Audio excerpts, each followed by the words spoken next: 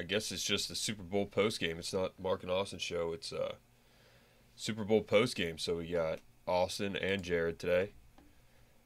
It was uh, a pretty good game, I thought. We uh, we got a pretty entertaining game.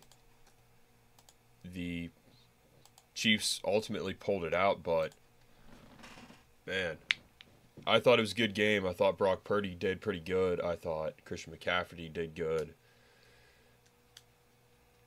The Chiefs, what makes them so great is that they can just, I mean, the game's on the line in overtime. If they don't score or at least get a field goal, it's over. First of all, Pat Ma- uh, Pat Mahomes doesn't throw an interception, which is there's a lot of pressure on you to do that. But what makes the Chiefs so great is they could just roll the ball down the field like that, and that's why they're so unstoppable. And that's why the Steelers can never beat them. That's why the the Bills can never beat them when it counts. I mean, they're just. I'm trying to think of. I'm trying to think of a team to compare them to. I mean, the Patriots did that a lot. They would just go down the field and score. I mean, the Steelers did that quite a bit too. Um, Michael Jordan and the Bulls when they were down. I mean, there were so many times where they were down in the fourth quarter, and they came back.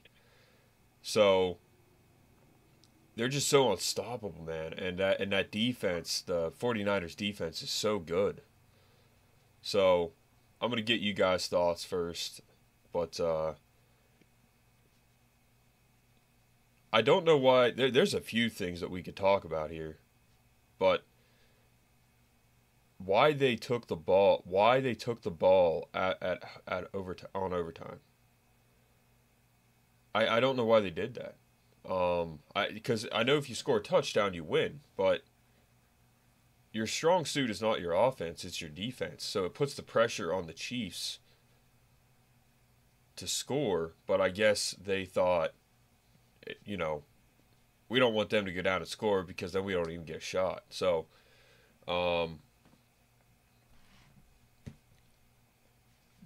we'll talk about the commercials too.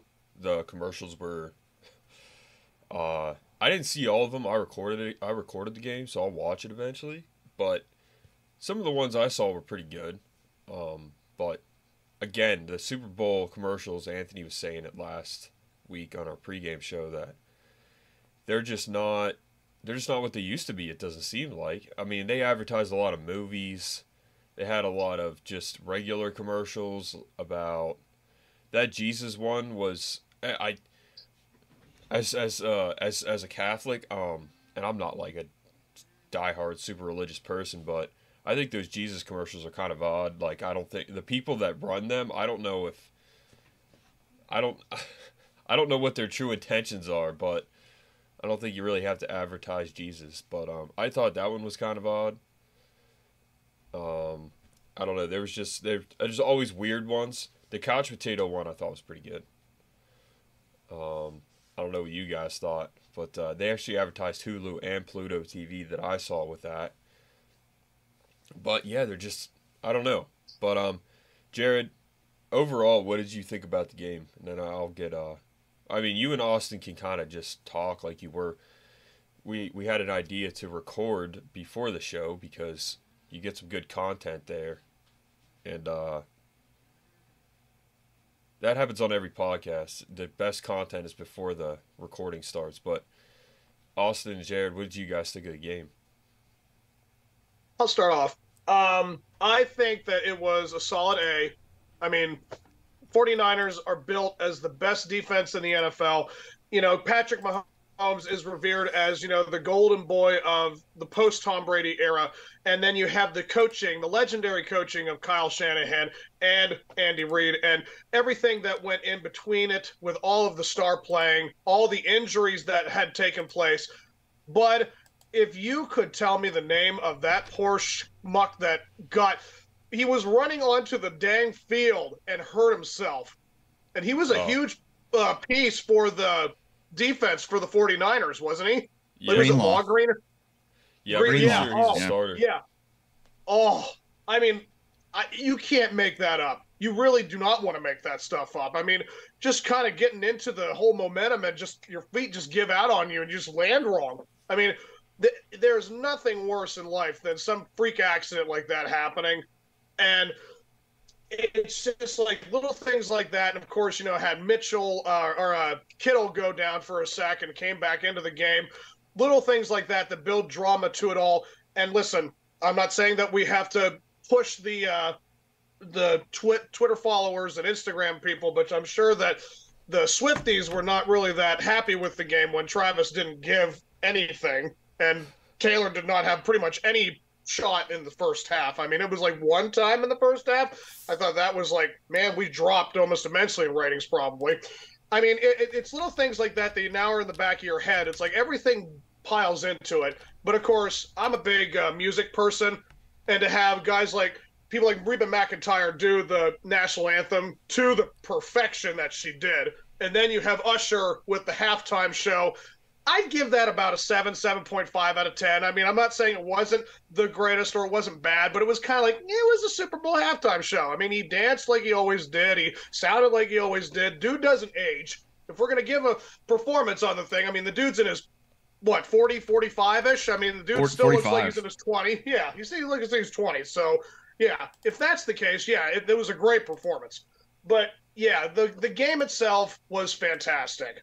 Uh, you could not have scripted a better game ending for overtime. Like you don't expect that to ever happen in the Super Bowl. And yes, I thought that was the really big key moment for the whole thing was when Kyle just decided to take the ball first. And it was like, dude, you're going to give Patrick Mahomes like the opportunity to do something. It's kind of like a Tom Brady effect. When you are that elite and you are that known for what you do, but here was the difference between Patrick Mahomes and Tom Brady. If there is ever a time where you're going to see like third and five, third and seven, Patrick is going to find a way to get it with his legs. That's the thing. You you have to know this. Every time that guy is in open field, he will take off. And he's such a big stocky guy for a quarterback, he's going to get it. And he knows it. Like that's the huge difference between Tom Brady and Pat to me. Yes, Pat can easily throw it like Tom does, but he can run just as effectively as he does with his throwing. So if you take all of the scrambling away from Patrick Mahomes, I think this would have been a lopsided game. But he creates it. He's the one who does all that work. And of course, Andy Reid is the coach he is. What Pat didn't do, Andy took over. It was absolutely some of the it's some of the best partnership you're ever going to see in the entire game of football. And again, with one of the greatest plays I've ever seen. A great trick play to play at the Super Bowl was that Christian McCaffrey catch. That threw me completely. I almost went nuts in my living room when I saw, you know, Brock Purdy give it to that one guy, heave it the opposite opposite side of the field, and you saw him take off. It was such a trick, great play. I I was like, that's what I live for, for great moments like that that you're always going to remember with every game, and that was that play. But Kansas City, I'm not saying that they are basically guaranteed to win or the Super Bowl every year, but now you got to start to think that it's like every other team now in the offseason better be coming up with the ultimate game plan to get this team to stop being such a dynasty. it's like the, this is what it is right now. It's a dynasty, and yeah, th- they definitely have earned their right to say they are that because again, San Francisco's defense elite absolutely the best. And they hung in there enough and they took advantage of what they were given. And so that was the result it was. And it was a good one. I'm going to play that Greenlaw clip real quick. This watch 57, Dre Greenlaw. After the stop on the punt return. Yeah, it's something. I mean, you don't. I saw that live. In the blue uh, it doesn't look pretty. Yeah, yeah. Uh, suspected Achilles Dre um, tear. Uh, I don't know if I don't know if it happened like when he first planted and just to drive to run onto the field. The but he went down almost immediately, um, like right on the right on the edge of the sideline. Um, After very freakish. Um, definitely not something you you want to see.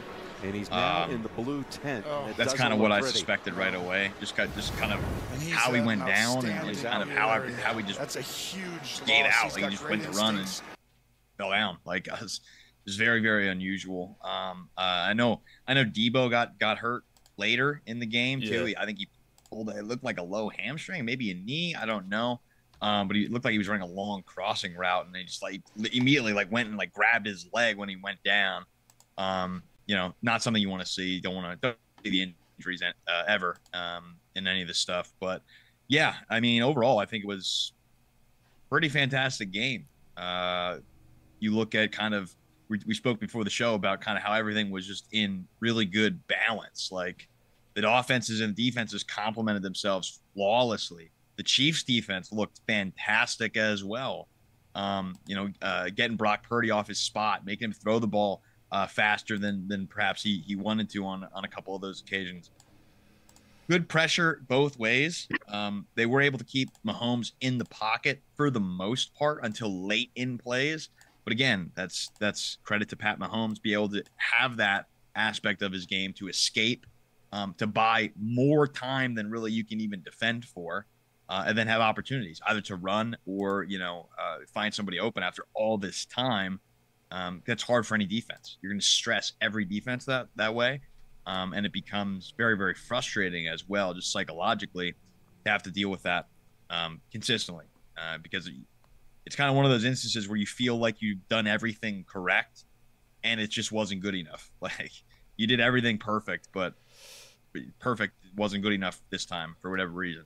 And that's what elite quarterback play can do, especially mo- uh, with a mobile quarterback that can buy extra time. Um, the one thing that I think probably could have been better for both teams is probably the run game. I think it's just more of a testament to defense, but um, guys really couldn't get the run game going all that much. Um, McCaffrey had a couple of couple of couple of plays here. Um, bigger ones were kind of out of the, in the passing game and that sort of thing, just because he's he's just a, a fantastic talent. I mean, there, there's not there's really not too many guys that can do all the things that he does from the return game, catching the ball, versatility in, out of in and out of formation, uh, running the ball. Um, you saw it on the trick play. The burst is uh, impressive, uh, to say the least, uh, as he just outran pretty much everybody else on the field on that play. Um, really, nobody had an opportunity to, to stop him on that one. Um, I thought the I thought the blow up early from uh, Travis Kelce to Andy Reid was um, was something. He's a he's a he's an emotional guy uh, as far as that goes, and it, it's probably it was probably something along the lines of like, "Hey, I'm open. we got to get me the ball. Like, okay, I get it. I'm sure Andy Reid was well aware that his all star tight end, future Hall of Famer, is probably a good football player and can probably help him win. Uh, I'm sure he was well aware of, of this at the time. Um, and I, I, just thought it was kind of silly because he went to Andy and he probably should have went to Pat, to be honest, because it was like, Pat, you got to look for me because I'm open. I've been open a couple of times here, you know? Um, so that was interesting, but uh, everything was kind of everything kind of cooled down after that. They, they did get him the ball. He had nine catches for you know 90 plus yards or whatever. So he had a good night.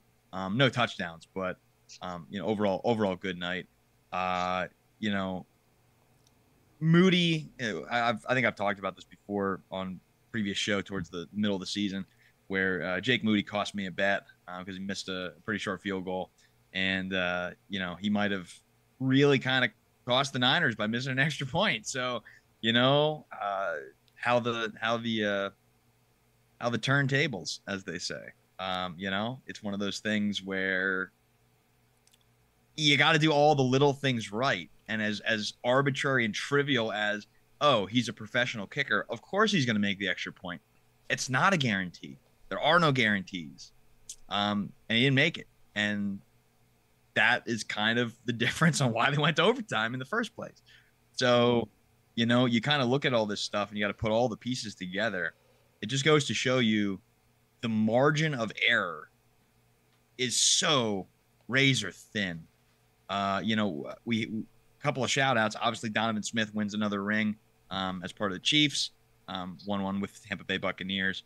Uh, Ji'Ayir Brown had an interception. I thought he played well overall. I know he got dinged up there for for a minute, but he came back. Um, looked like a like a stinger kind of thing. Um, so he had a good game too, um, which pleased to see that. And uh, I had a great time watching the game because I didn't really have a horse in the race. I could just watch football and just kind of enjoy it. That was that was uh, not the worst thing in the world. Um, I will make a point uh, on the halftime show. I thought overall it was it was pretty good. Uh, I would say the first half definitely got carried by the back half. Uh, for me, it was when Ludacris came out with the full afro and gave me gave me some Too Fast Too Furious vibes, and that brought me back some some positive nostalgia feelings, um, and I, I, enjoyed that very much. But uh, overall, great game. Um, you know, no doubt about it. It's a dynasty. Um, happy for the Chiefs. You know, uh, and for me personally, obviously being a, a big time Eagles fan, just happy for Andy Reid, man, because the guy is one of the greatest coaches ever to ever coach. Um, his coaching tree is extensive. His his fingerprints um, and and his um, leadership and ability to cultivate culture and build a staff and have staff members move on, et cetera, et cetera. Uh, you know, he is all over the NFL as far as his reach and his impact. So I'm happy for those guys. Happy for Andy Reid um, to get a to get another ring, um, and definitely a dynasty. So the target is for sure on the back now, if it wasn't already, and everyone's going to be coming. Yeah, yeah. Overall, you know, you guys make some good points. I mean, the fact that, well, first of all, you got to give a lot of credit to the Chiefs. Obviously, they're an absolute dynasty. Andy Reid is a huge reason why they're so good. Uh, Pat Mahomes, I don't think is Pat Mahomes without Andy Reid. Now, like Tom Brady, I think if you, I don't know, I think if you take Pat Mahomes and you put him with another team, another coach, I don't know if he does as well. So I think he benefits greatly from having Andy Reid as a coach. He doesn't have a ton of weapons. I mean, like Tom Brady, he doesn't have a ton of weapons. I mean, he has that Rashee Rice. I believe he's a rookie he's an absolute freak. Um, and then Kadarius Toney, he's kind of like Antonio Brown. He's just kind of lost his mind. Um, and he's kind of got that serial killer look. I don't know if you've ever seen his face, but he just he looks crazy. Um, but apparently he just he really fell off, and he was a weapon. I believe last year he caught a touchdown in the Super Bowl, or he was a big factor in the Super Bowl. Uh, so I don't know if you saw. My cousin sent me this clip. It was, I think it was 132 left in the fourth quarter, and it was first and ten. Mahomes ran for two yards to make it second and eight, and then they changed the t- the thing on the TV to first and ten again. Did you see that? I did. I did see that. I thought that was really weird. Did you see that, Austin? Uh, I think that's. I think guys. I think that happened when I was when I stepped away for a moment. I don't, I don't expressly. You can say you can send me it though. Yeah. Uh. He said it. Too, you said this was this was late in the fourth quarter. Yeah. Yeah. Right at the end. Okay. Yeah, I remember actually going like I watched it live, and I remember seeing Mahomes dive under, and it was like so it's second and whatever, and then they put the camera back on the field and it shows that it's first and 10 on like the 36 or something i'm like wait wh- what play did they do that i they got that first down i didn't even see it so yeah I, it was definitely weird so what you're saying is the fix was in that's what you're telling me i don't know man uh, i'm trying to fuck. i hate that you can't play stuff um yeah the, the, it, the, but i'm, just, I'm, re- I'm looking at it right now um You can just you can just, just send it to me personally. He ran for two. He ran for two yards, and then he. And then he's running around. It says second down. And then they put the Super Bowl logo. Now watch, minute 32 still. And that was first and 10 again.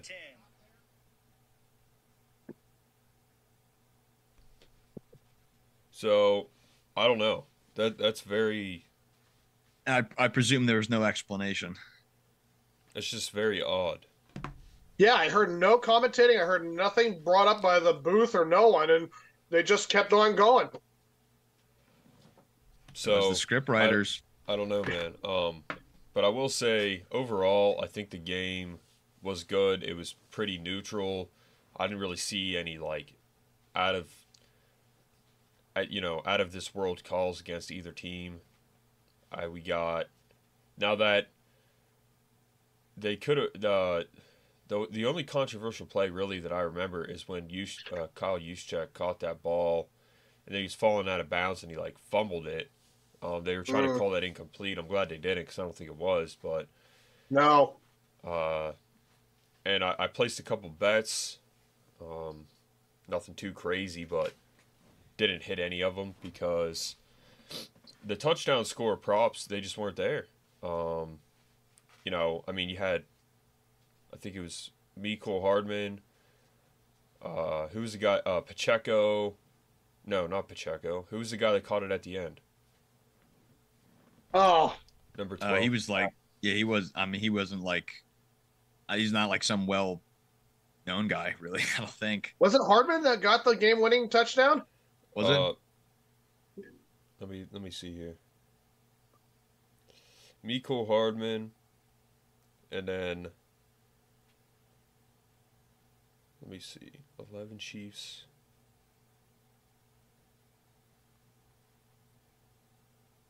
Mark, okay, so I think it's Valdes Scantling, and then Mecole Hardman.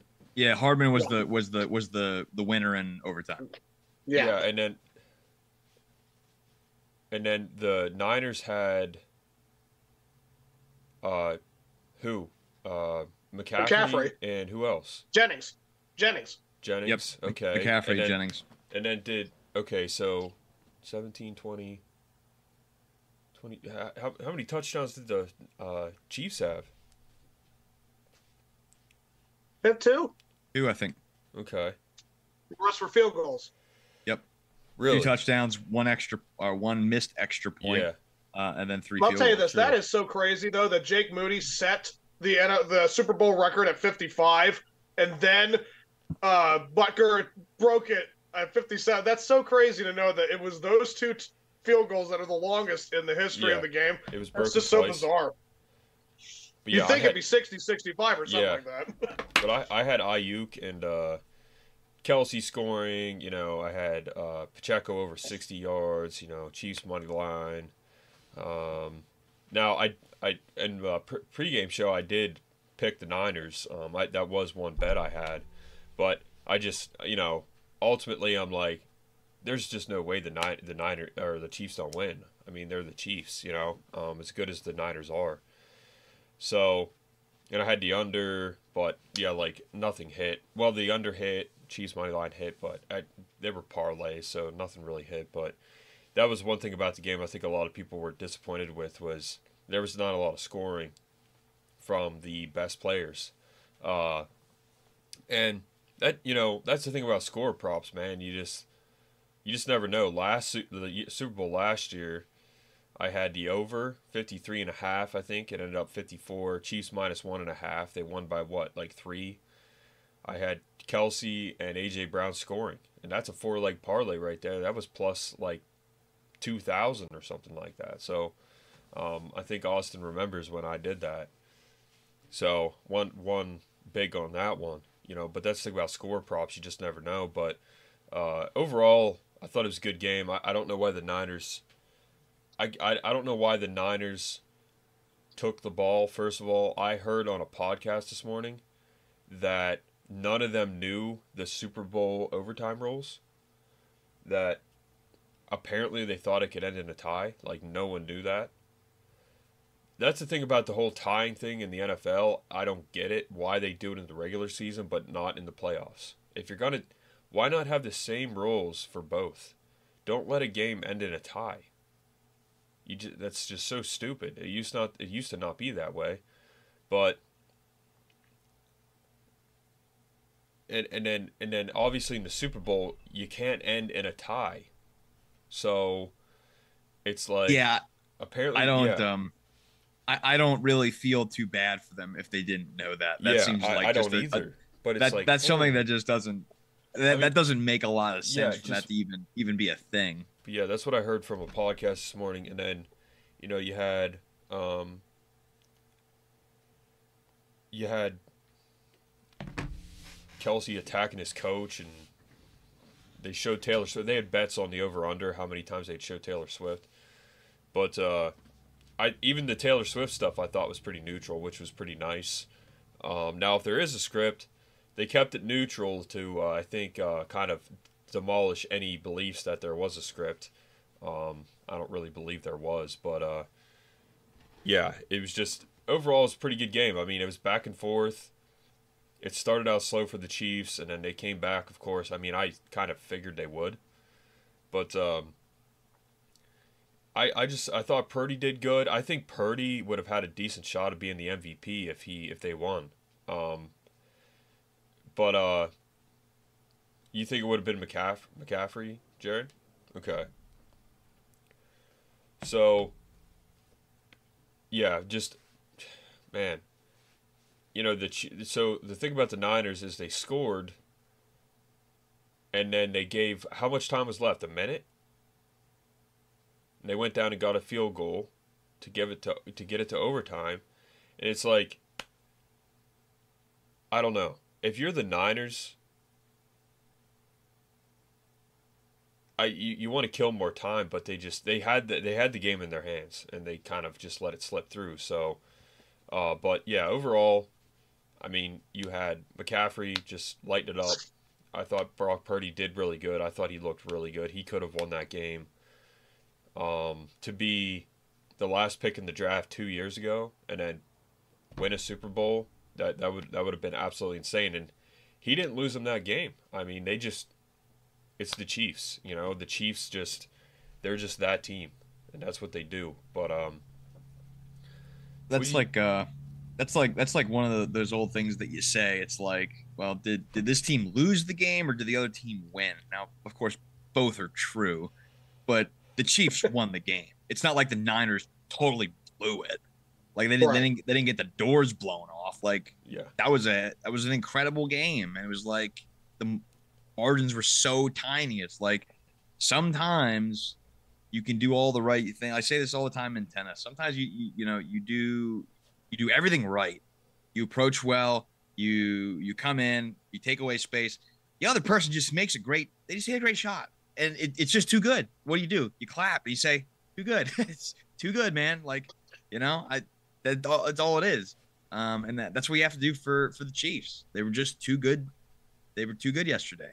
Um, they weren't so much better, just a little bit, just a little tiny bit. That's and that's the difference.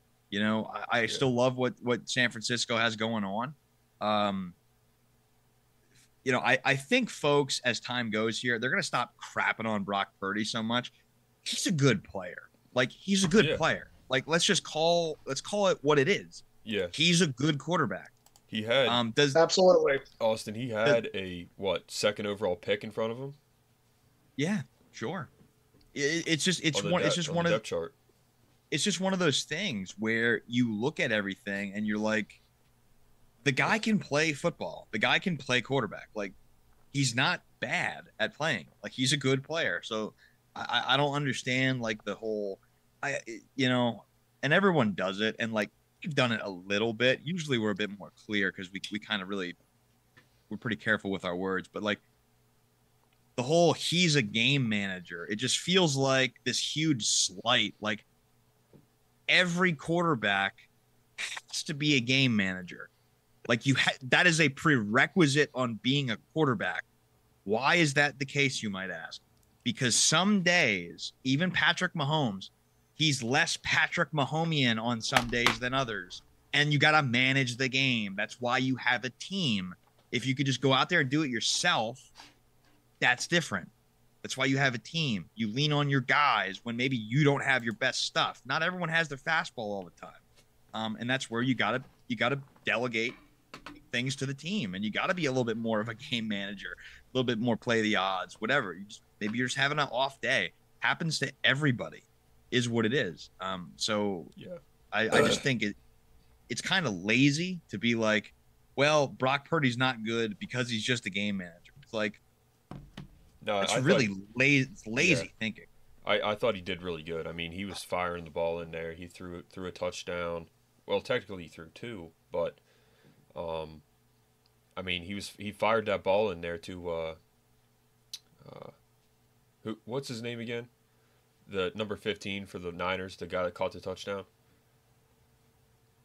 Workman or Hardman? For the Niners.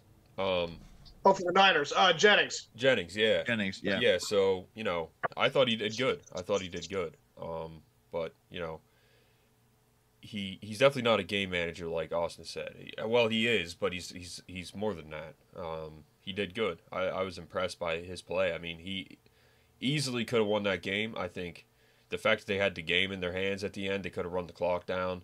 You know, that's coaching. You got a you got the best running back in football probably. You got this kid who's playing really well. Um, you got enough weapons on the line. You got a great O line, and you can't run the clock down. You you give Pat Mahomes time to go back down. I mean, Pat Mahomes is he's he's he's basically the Michael Jordan of our sport right now of football. He he, he can just he can do anything. Um, that guy could have ten players on offense and still probably go down and score. So he is he's that good. He's he's that good. So uh you know, jump off your point, Mark. Uh now we do have to kind of put this in the perspective of now the season's over, we're officially in the off season, and how it works is with the Super Bowl, whoever won is in first. They're the ones who are the top tier, and whoever lost, and this is going to sound ridiculous, but this is true, they're the last place team in the entire NFL. You got to look at it like that. You lost. So you therefore are not if you're not first, you're last. That is what has always been said, Ricky Bobby. It's just how that works. And that's the thing about this game that defines your entire identity. Like you know that you are doing what you're doing as Patrick Mahomes, Andy Reid, and Chiefs. You guys are literally the Chiefs. You are the supreme commanders right now of the sport. You are looked at as the guys that know what they're doing at all times. And as elite as the defense for the 49ers are, no matter how far Brock Purdy has come, no matter what they did, everything right, whatever, it's like now you are at the bottom tier. And you got to now prove yourselves once again. That's what makes the next season more and more interesting because now you're asking yourselves are the 49ers going to be able to stay where they're at with offseason, with drafting, with what comes next with player injury and or acquiring? Like all these things have to then come into your mind as an entire organization where it's like, all right, we got to tweak this. We got to like we see the whole scope of things. It's like what screw is loose? What what isn't hanging right? It's like we got to adjust this and here and that. Everything right there is right there in front of you. It's just now can an organization like San Francisco know what they need to tweak? That way they can get back to where they were at and even be better. That's the thing about this game. When you're the winner, it's like you have no problems. When you're the loser, you have all the problems in the world. Because again, yeah. you got to know how to get back there. And and and you look yeah. at every other team that was so close that they could like the Lions just collapsed. It was one of the most devastating things. I'm not saying that I was rooting for them completely, but it was that thing where if it was Detroit versus Kansas City, it would have been the feel good story of the year. Everyone would have watched that Super Bowl thinking that there would be no loser truly, truly again because we were all thinking like the underdogs ultimately that never won a Super Bowl with the Chiefs that you know are expected to win a Super Bowl. But the narr- the narrative was that Brock Purdy is not an elite quarterback. So how could he possibly be able to dethrone the great Patrick Mahomes? And you know what? He looked pretty darn good against Patrick Mahomes. Head to head, that was a darn, darn good boxing match if I've ever seen between two quarterbacks. He really knew how to stick and jab with the best. Yeah. So again, it's these little stories that it's like, all right, now next season you're looking as to what is going to take for you to be like the Chiefs or not to stay the worst and lose again. Like, yeah. it's just where it all comes from. Yeah. Yeah, that, that's a good point, Jerrod. Um, it, it's, it's, that's the thing, like, we'll go on to the next subject here, but, uh, that's the thing about the Niners is they shown them on the sideline disappointed, looked like Joey or Nick Bosa was crying. Uh, I think McCaffrey was crying. Uh, they all know how hard it is to get there, and how they could never ever go back. Uh, that's the thing about the Steelers is, and I don't know what their mindset was going into that Super Bowl that they lost to the Packers. I think a lot of them thought we're a dynasty. We're the best team. We're gonna win four or five Super Bowls. This is just another game against a six seed. There's no way we lose this game. Um, and they lost, and it, it, it still sucks. I mean, it's like, uh, you know, you never get over like, dude, it, it, you never get over like the death of a close family member. Um, I'm still not over that Super Bowl loss. It still hurts that we lost because you just as time went on, you're like, man, we're not going back there for a while.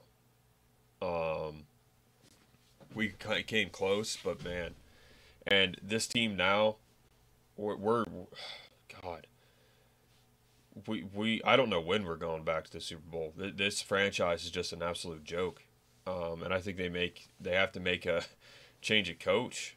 Really, they have to. I mean, they're talking about Ryan Tannehill coming in. Holy shit, dude! Are you kidding me right now? D- that, He's 35. Yeah, just just right on the whiteboard in the locker room. We're never going to a Super Bowl with this team. Just write that on the just write write that on the whiteboard. We don't want to win a Super Bowl. We just want to be average and suck and draft in the mid round, mid of the middle of the first round. And Mike Tomlin's the greatest and the same song and dance every year. But um, but that's another thing why the Super Bowl I think is such an important game to watch because again these are the best of the best for the reason. Yeah. It's like you're watching two teams that won it that badly and they proved that. And now you look at all the entire scope of the NFL and you're just looking going, all right, that team is around C, C plus. Like that team, you know, it's B, it's B. It's I, I, respect you, but you know, you're not A material just yet. You know, like all the different grades, and it's like you know you're tanking because you want good draft picks because you know yeah. you're not ready to do this just yet. There's so many different variances in terms of the sport of football where it's that's what makes it such a great sport any sport can do that but something about the nfl it's just a lot of fun to do it with every team from the pitiful Arizona Cardinals to the elite of the Chiefs. It's just like everyone in between, you know, you're wondering, you know, I can be a good student. I can put myself through the test, but it's just at the same time, how much study time do you really devote yourself to? How much do you want that grade? How badly do you want that A? And it just seems like the Chiefs they they bring in the A students every time. And then 49ers, it's like it's you wouldn't think that Brock Purdy would be the last draft. Like you think, okay, this guy's just getting it on merit because he's just a part of the draft. He's put his work in. He's literally giving you a plus plus effort. So therefore, at least he looks like a B B plus quarterback. So you gotta give you props to how much work you're gonna put in for it.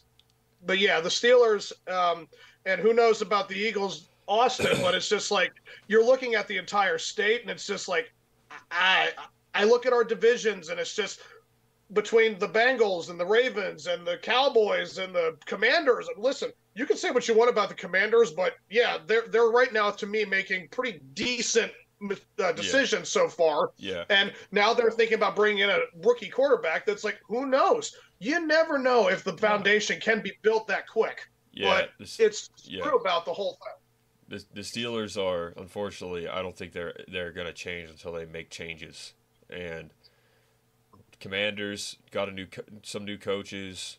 Um, the uh, you know the Bengals they flipped it around in two years too. I mean they were the first pick, and then they were in the Super Bowl. Um, and the final point too is, uh, in Austin you can speak too, but uh, imagine if the Niners had like Ben Roethlisberger, or Pat Mahomes, or uh, even Russell Wilson. Like, imagine if they had like a legit quarterback. They've had Trey Lance, complete bust. They've had Jimmy G, and they've had Brock Purdy. Imagine if they had like a a legit quarterback, how good they would be. They would have so many rings right now because that roster is just so insanely talented. I mean, just imagine if they had like a Ben Roethlisberger. I mean, that would be they, they wouldn't they would never lose, you know. So they've had quarterback issues for a long time. Because I mean, let's be honest, you could do better than Brock Purdy, you know. So yeah, I mean, better quarterbacks for sure exist. I think, I think they were really high on Garoppolo. Um, it just kind of sucks that the guy got hurt all the time. Like, a lot. Just, he just couldn't stay healthy at all. Um, like like I think he had a lot of talent. I think he he proved that he could be a pretty good quarterback. But you got to be able to play. Like he can't be hurt all the time, unfortunately. Um, obviously, you don't ever want to like knock somebody from get for getting hurt, but like that's a that's a statistical distribution. Some people are just a little more what you would say fragile than other people. They're just a bit more injury prone. They're just not as durable um, for whatever reason. Probably genetics. Probably has it's not within his control at all, really. Um, but the one the one thing I was gonna say is that was a fantastic quote that I think you need to clip out uh, for sure and put that in there because that was some next level insight about the Steelers that you didn't know if they were going to change until they made changes. We're going to need to clip that, get it in there because that is, excuse me, next level. Love yeah, it. they're not going to change. Well, it doesn't seem it doesn't seem the case. Uh, I do I do remember another big thing in coaching, which isn't always true, but is usually probably a, a pretty fair assessment of things. You're never as good as you think you are, and you're also never as bad as you thought you were either. Um, yeah. Usually, there's some things that you can kind of build off of all the time, unless something is just a total dumpster fire. Um, it's one of those things where, like in in this particular case with the Steelers, um, can they just get a couple of drafts right? Yeah. Like if if you just if you are just a, even one draft, like yeah. one draft could totally change the complexion. If you just hit on an extra guy or two that you didn't really you were kind of unsure and it just works out. Like, you know, maybe you get a guy that you know, maybe you get a, a, a Ji'Ayir Brown type player in the third round who's starter quality. Yeah. You know, uh, plus maybe you get an offensive playmaker. Uh, obviously, we all know the deficiency at quarterback. We know that that's a big part of the issue, of course. Um, or you look at the Eagles, like they totally revamped their entire coaching staff. like, yep. you know, um, which I think was warranted. Um, obviously, you know, talked about it great coaches know when to press the right buttons and pull the right levers at the right time. And down the stretch, they couldn't they couldn't hit water with a play call they fell out of a boat. Uh, I mean, it was horrible. They couldn't do anything. So, you know, it's just it's one of those things where even if you have the same boat, if you get a different captain, sometimes it just looks different. That's like yeah. that's like saying, you know, you have somebody driving their their Toyota to work, but you give it you know, you give that car to uh, Jimmie Johnson, the the NASCAR former NASCAR driver. Uh, it's just going to look different when he's driving it. You know, like he's just going to drive it a lot better than you. Why? Because he's just a way better driver than you. So, it, it, you know, it always depends. Sometimes you don't need a, a total rebuild. Sometimes you just need a different a different steward of of the ship. So we'll see. It'll be very interesting offseason. Obviously, the, the draft coming up relatively um, in relatively short order. Um, that'll be entertaining to see what, what, what these teams are able to do. But but overall, uh, I thought it was a, a good week for football. Uh, you know, I, I, think everybody got their money's worth uh, for the Super Bowl, which I which I thought was good. And um, yeah, can't really can't complain.